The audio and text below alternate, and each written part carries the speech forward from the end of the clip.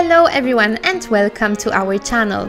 In today's vlog we are taking you to Corfu, the Greek island with the most stunning blue waters. We'll show you the most beautiful beaches and breathtaking spots, rent a motorboat and as always indulge in plenty of delicious food.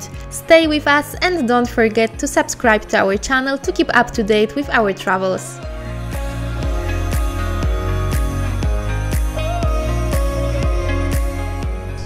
Hello everyone! Today we are in Corfu, Greece. Honestly, this video almost didn't happen as we planned to relax and enjoy the beach without making a YouTube video this time. But this place is too amazing not to share with you. Our first impressions after arriving in Corfu? It turned out to be quite an extraordinary place, unlike any other Greek islands we've visited so far. Here you'll find Italian architecture and lush greenery, the vegetation is truly abundant. But let's start from the beginning. We stayed at Hotel La Maison Corfu and we were really pleased with it. The accommodation options in Corfu leave much to be desired. It's quite expensive and the price doesn't always reflect the quality, so we are glad we found a nice place where we could truly relax. The best part was the pool, which most of the time was completely empty even though we visited in July, which is the peak season. The location was also very good and if we can give you one piece of advice, aim for accommodations in the northern part of the island to save time and avoid unnecessary driving. This area is where you will find the most beautiful beaches and attractions. The hotel also provided quite tasty breakfast and within a few minutes walk we had an access to the beach and plenty of restaurants. But of course, as always, we also rented a car to do some exploring. If anyone's interested, we'll leave a link to the hotel in the description below. Now let's move to our first day in Corfu when we visited the most picturesque spot on the island, Porto Timoni.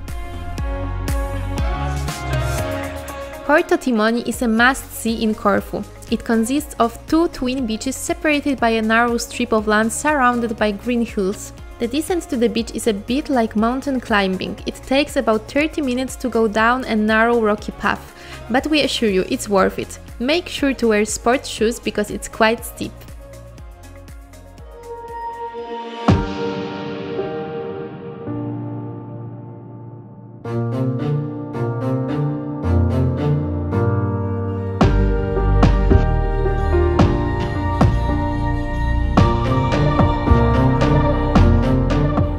At about three quarters of the way, you'll reach a viewpoint with a breathtaking view of both beaches. Also, bring a lot of water with you because there are no facilities down there, so you won't be able to buy any. Trust me, you'll need it during the climb back up. As everywhere in Corfu, water shoes will also be a good idea.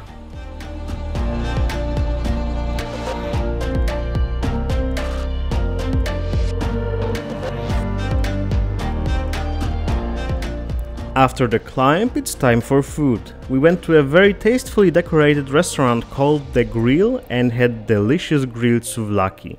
The Middle Eastern style lamb skewers prepared there are also worth recommending. The dishes at the grill were a great reward after the challenging hike from the beach.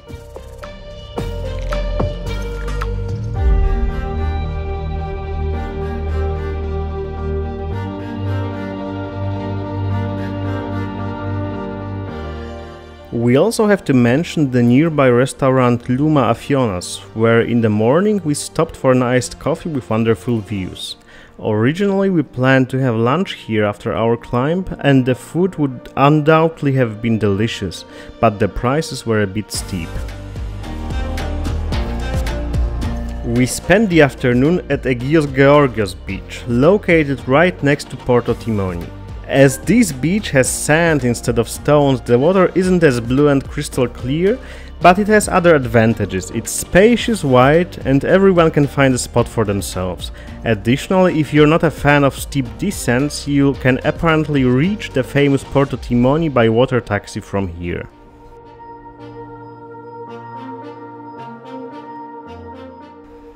We ended the day with dinner at a really nice restaurant called Lord Byron. They serve Greek and Mediterranean cuisine. We enjoyed it so much that we came back the next day. We highly recommend trying their mixed dips, feta cheese with honey and cheese croquettes. The mushroom risotto was also delicious. The restaurant has a terrace with a view, making it a great option for a romantic evening.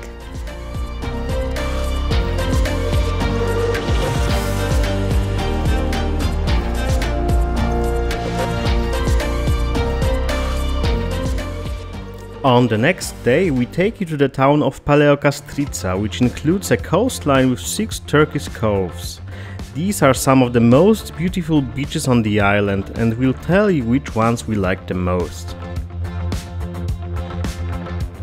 The tiny, intimate Ampelaki beach stole our hearts. It's beautifully located between green hills. The water is crystal clear and has a stunning blue shade. However, the beach is a rocky one, so water shoes come in handy. For 15 euros you can rent two sunbeds with an umbrella providing a nice view of the beach. Additionally, you can rent paddle boards and boats. As you can see, we had a great time there.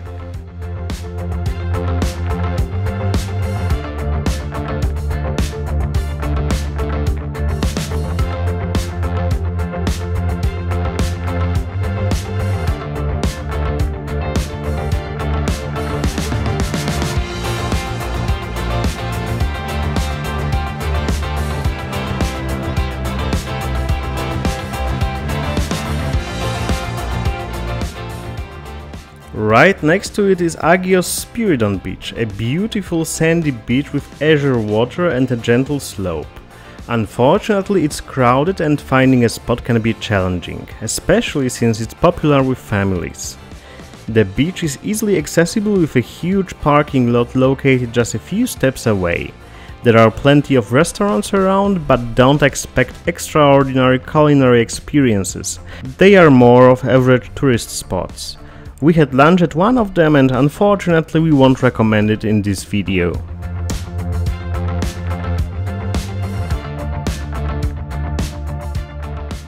In Paleokastritsa you will find an interesting place called Bar La Grotta, located among the cliffs. It has a lively atmosphere from the early morning with loud music playing, you'll probably hear it from a distance. Interestingly, you can also reach it by boat. We also need to mention Rovinia Beach. It's a beautiful sandy beach with stunning blue water, but the path to the beach isn't very pleasant. Initially it's quite steep and bumpy. Then you will encounter a narrow path through bushes, so it's not one of these easily accessible beaches. On the way to the beach, make sure to stop at Liapades beach viewpoint, offering the most beautiful view of Paleokastritsa's coves. The beach is somehow wild with no sunbeds or umbrellas. With its watercolor and location among cliffs, it reminded us a bit of Thailand.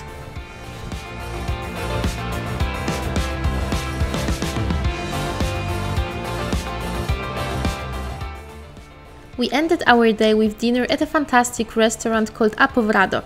It was probably the best food we had on the island and as you can see views from the terrace were amazing. It's best to go there at sunset, but make sure to make a reservation as usually there aren't any available tables in the evening. However, during lunchtime it's not crowded at all.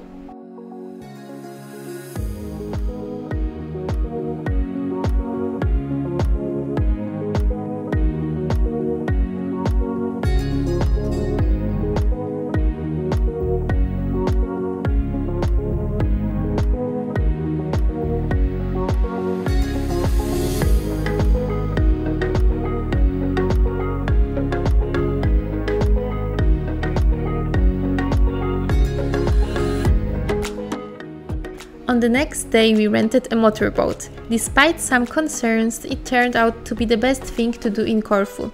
It was fantastic and we could see beaches accessible only from the sea. We started from Alipa Beach, a small beach located in the port, also belonging to the six coves of Paleokastritsa. It's the perfect starting point as the most beautiful beaches are located in this area. We rented our boat at Blue Lagoon and paid 95 euros for 4 hours plus 20 euros for fuel. The beach that stole our hearts was undoubtedly Kolias beach, with incredibly turquoise and clear water that we hadn't seen anywhere else. Caution, we saw jellyfish near the beach.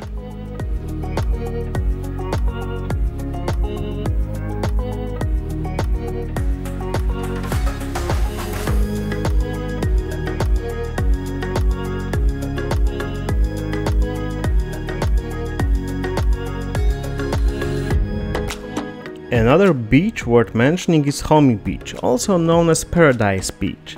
It's another beautiful beach accessible only from the sea. Currently it's not possible to disembark there due to falling rocks. Nevertheless, there are still many beachgoers who don't seem bothered by it. There are even sun loungers.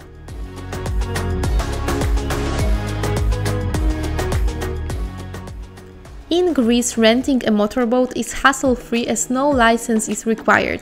In the beginning, we were taken out on a round trip of the bay to show us how to drive it. We also received a map with recommended route for the trip as some beaches are inaccessible due to falling rocks. We recommend booking boats at least 2 or 3 days in advance as availability is not as good as you might think.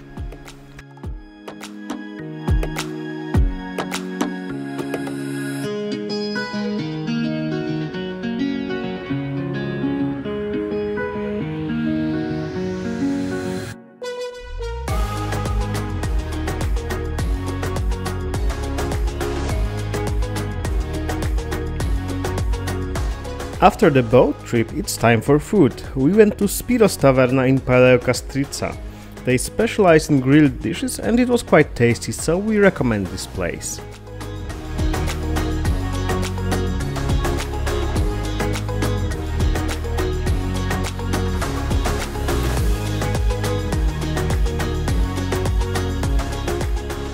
Of course, our video wouldn't be complete without Corfu town, which as you can see doesn't really resemble Greece. Corfu spent 4 centuries under Venetian rule, hence the typical Italian architecture. Kerkyra, as the Greeks call the city, is also a shopping paradise. There are plenty of small local shops, many of them selling leather goods. Interestingly, they also sell kumquat liquor, which has been cultivated here since the British introduced it in 1860.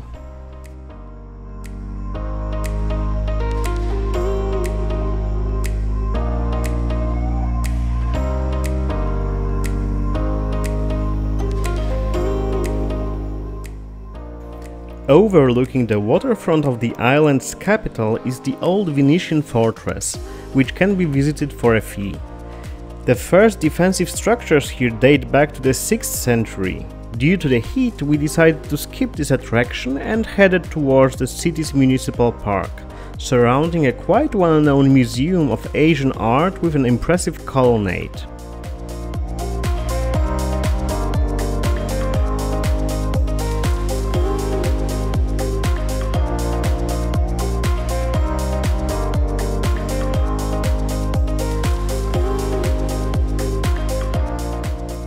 As you can see at the Faliraki urban beach, even in the city center the water is very clean and has a stunning color. There's no shortage of beachgoers either.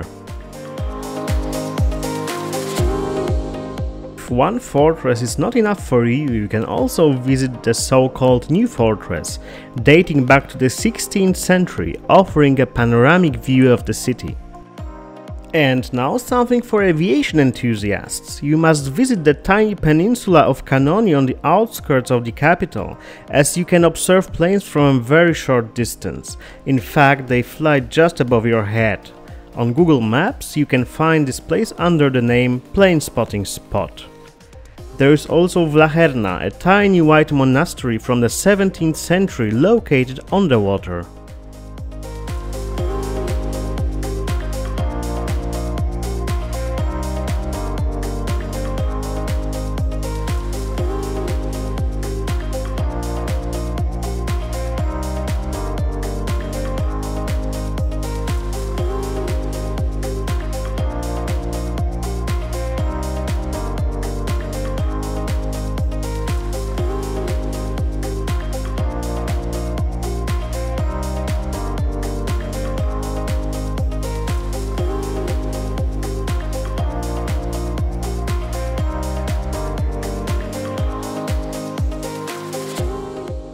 Finally, we can't forget about Ipsos, the town where we stayed. Honestly, it has a somewhat notorious reputation mainly due to its very lively nightlife and loud Italian teenagers. Fortunately, since our hotel was a bit further from the beach, we didn't experience any of that. Ipsos had a good location and what surprised us was its really nice beach. In this area we also have a few more food recommendations.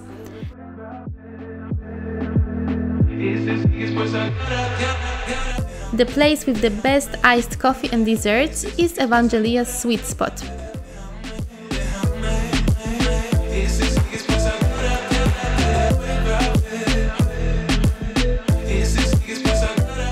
For a great dinner we recommend Squirrel restaurant with homemade Greek cuisine. Make sure to book a table in advance.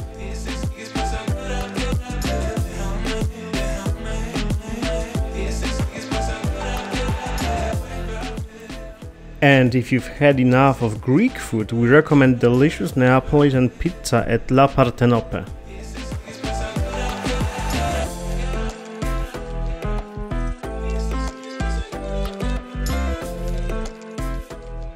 Not far from Ipsos is the very beautiful town of Barmpati, where we visited Bahia Mare restaurant, located directly on a beautiful pebble beach with crystal clear water.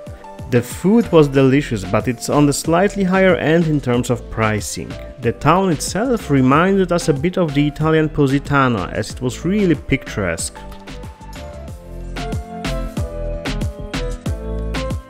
We know that this time we didn't manage to see and explore the entire island as we usually do, but for the first time in a few years we wanted to relax on the beach and not to make a YouTube video.